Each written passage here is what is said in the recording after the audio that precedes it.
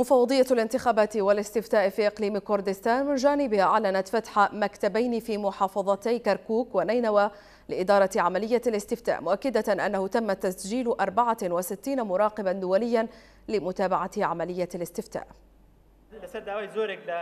مفوضية الإقليم قامت مكتبين في محافظتي كركوك ونينوى لإدارة عملية الاستفتاء فضلا عن تدريب الموظفين وآليات تصويت الكرد الموجودين في الخارج. حيث سيتم اعتماد هوية الأحوال المدنية في تصويتهم لأنهم خارج الإقليم وإن الاستعدادات اللوجستية للاستفتاء بلغت 90% وقد تم التنسيق مع الجهات المعنية بشأن التصويت الخاص والذي سيشمل القوات الأمنية والمستشفيات والنازحين. كما سجل 11 كيانا سياسيا و64 مراقبا دوليا و65 مؤسسة إعلامية لمراقبة عملية الاستفتاء.